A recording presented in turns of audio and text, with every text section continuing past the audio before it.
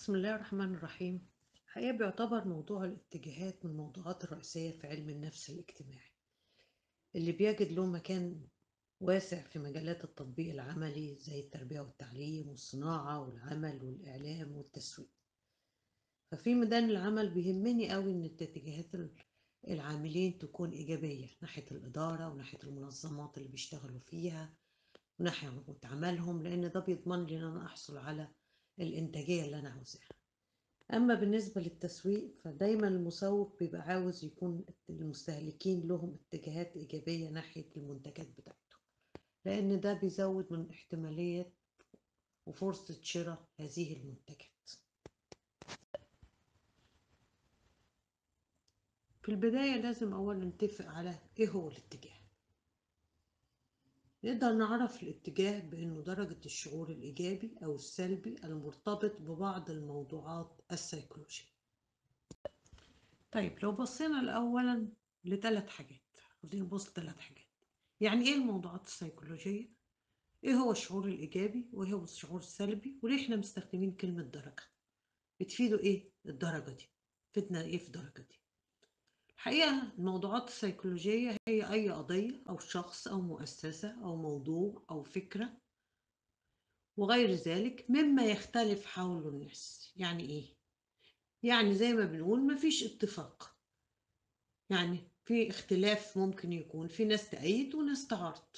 وعشان كده نقدر نقول إن الاتجاه دايما ما بيكونش ناحية الحقائق الثابتة المقررة. إنما دايما بيكون تجاه ما يمكن أن يطلق عليه القضايا أو الموضوعات الجدلية. فأنا بقدر أقسم القضايا إلى مجموعتين. ما يطلق عليه القضايا التقريرية وهي تلك القضايا العلمية التي لا تختلف فيها الآراء ولا تتعدد عليها المناقشة يعني إيه؟ يعني الحكم عليها متفق عليه سواء صواب مطلق أو خطأ مطلق. زي ما نقول الشمس تشرق من الشرق. هل حد يقدر يقول أعترض؟ لا الشمس تطلع من الغرب؟ لا.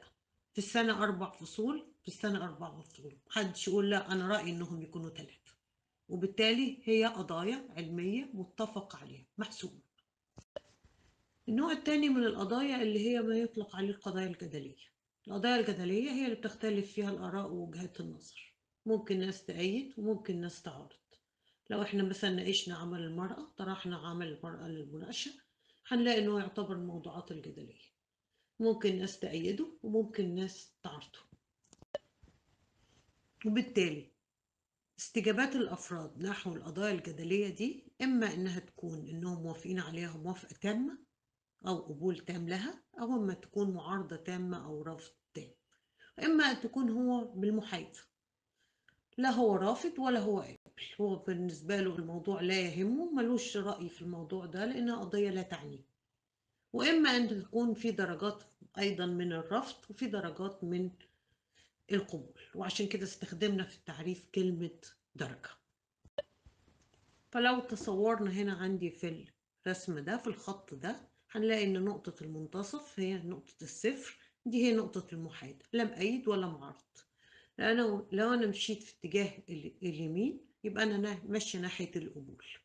في درجات للقبول لغاية ما بوصل للآخر خالص اللي هو القبول التام. ثم لو أنا مشيت ناحية اليسار يبقى أنا هنا ماشية في اتجاه الرفض. وفي أيضا في درجات للرفض وآخرها الرفض التام. زي ما ملاحظين إن القبول القبول بالموجب والرفض بالسالب. طيب السؤال هنا المكونات الأساسية للاتجاهات. إيه هي؟ نقدر نقول إن الاتجاهات لها ثلاث مكونات أو ثلاث جوانب. الجانب المعرفي والجانب العاطفي والجانب السلوكي. يعني إيه؟ الجانب المعرفي. هو أنا ينفع إن أنا أكون رأي في حاجة أوافق عليها أو أعترض عليها ما يكونش من غير ما يكون عندي معلومات عنها؟ لا. يبقى عشان كده لازم يكون عندي معرفة بيها ومعلومات عنها عنها. ده أول جانب. الجانب الثاني اللي هو المرتبط بالناحية العاطفية إن هو النواحي العاطفية الوجدانية المتعلقة بالشيء ده. هل الشيء ده أو القضية دي محبوبة بالنسبة لي ولا مكروهة؟ الجانب الثالث اللي هو الجانب السلوكي. بناء على معلوماتي وعلى الناحية العاطفية عندي بيبقى أنا عندي استعدادات سلوكية معينة مرتبطة بالاتجاه. لو أنا عندي اتجاه موجب ناحية الشيء ده يبقى أنا هسنده وعاونه لو هو شخص زي ما بنقول وأقف معاه. والعكس صحيح. طيب عشان الاتجاه يتكون الحقيقة بيمر بأربع خطوات أساسية. الاتجاه مش بيتكون من خبرة فردية واحدة بخصوص الموضوع الاتجاه لازم أمر بأكتر من خبرة زي ما بنقول. ال- الخب... يبقى أول خطوة عندي إن أنا مرور بخبرات فردية جزئية حوالين موضوع الاتجاه. الخطوة التانية إن ال- الخبرات دي بتتكامل مع بعضها وتتحد في وحدة كلية. الخطوة الثالثة إن هذه المجموعة من الخبرات الجزئية بتتميز وتنفرد عن غيرها من الخبرات وتظهر على شكل اتجاه عام. الخطوة الرابعة إن أنا هنا في الحالة دي بقى عندي اتجاه عام بخصوص الموضوع ده يبقى أنا بعمم الاتجاه ده وأطبقه على كل المواقف والحالات الفردية اللي بتقابلني اللي متعلقة بموضوع هذا الاتجاه. طيب لو جينا بالنسبة لأنواع الاتجاه.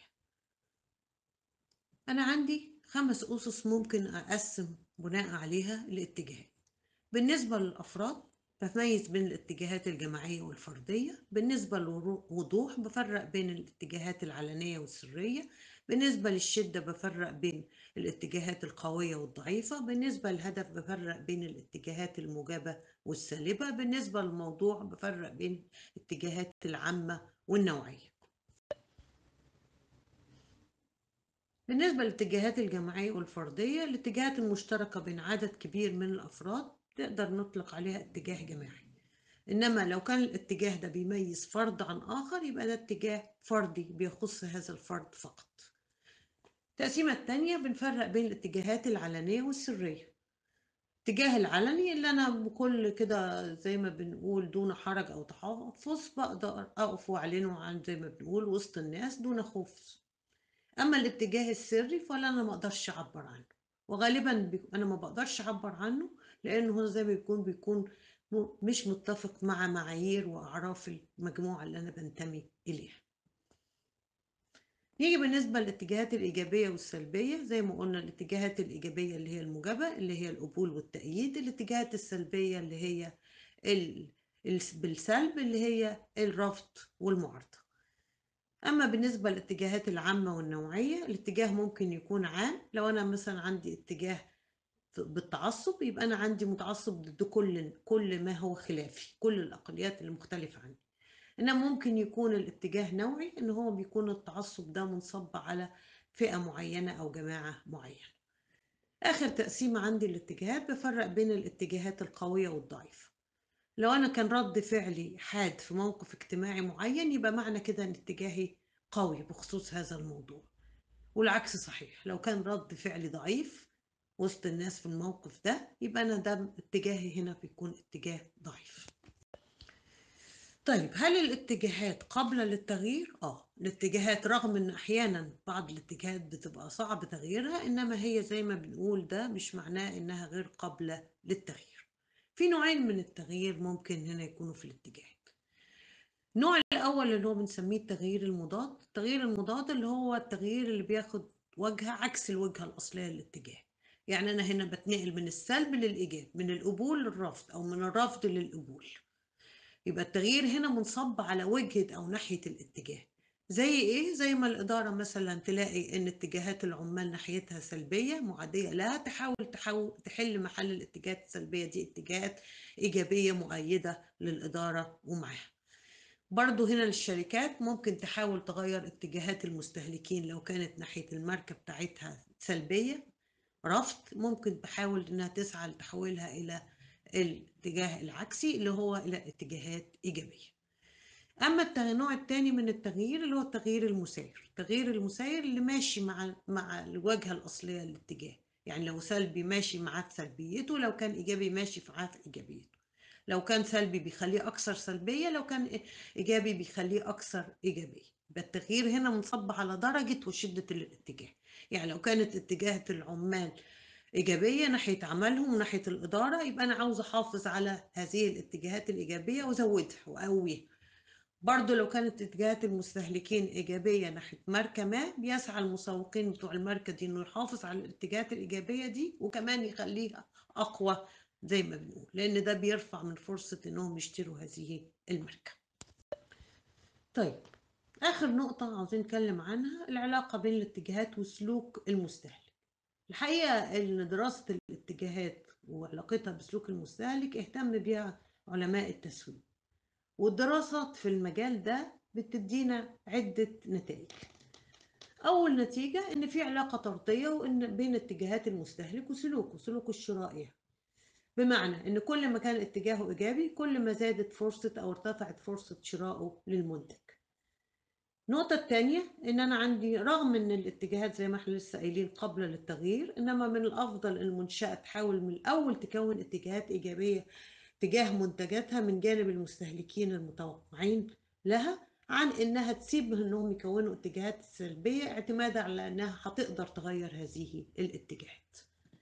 طيب الاتجاهات بتتكون يا إما نتيجة خبرتي أنا الخاصة يا إما بض- نتيجة معلومات بتجيلي من الآخرين طبعا لو كنت أنا كونت الاتجاه أو رأي ده نتيجة خبرتي المباشرة بالسلعة أو الخدمة اللي أنا فعلا استخدمتها وما حصلتش برضايا يبقى في الحالة دي هيبقى أصعب كتير من أنا أغيرها من إن أنا كونت الاتجاه ده نتيجة معلومات من الآخرين. النقطة الرابعة إن أنا بحاول إن أنا أحافظ طبعا على لو كانت اتجاهات المستهلك بتاعي إيجابية بحاول إن أنا أحافظ عليها باستخدام الجهود التسويقية المناسبة وكمان بحاول أعمل حاجة بنسميها عملية تحصين الاتجاهات يعني إيه تحصين الاتجاهات؟ يعني أنا في الحالة دي زي ما بنقول بشوف إيه ممكن نقطة الضعف اللي ممكن تؤخذ عليا من المنافسين وأنا اللي من الأول بعترف بيها وأشوف إن أنا أؤدي المبرر الكافي لها أخيرا أنا ممكن هنا زي ما بنقول النتائج بتقول لي دراسات بتقول لي إن أنا ممكن أغير اتجاهات المستهلكين نحو السلعه إن أنا أدي المستهلك عينة مجانية من سلع هو ما بيستهلكهاش. لما يلاقيها قدامه وارد إن هو يستهلكها مع زي ما بنقول وبالتالي ممكن هنا يكون هنا الاتجاه الإيجابي اللي أنا عاوزه ناحية الماركة بتاعتي. مع ملاحظة حاجة مهمة إن أنا لازم العينة دي تكون بنفس جودة المنتج الأصلي اللي أنا هبيعه بعد كده للمستهلك.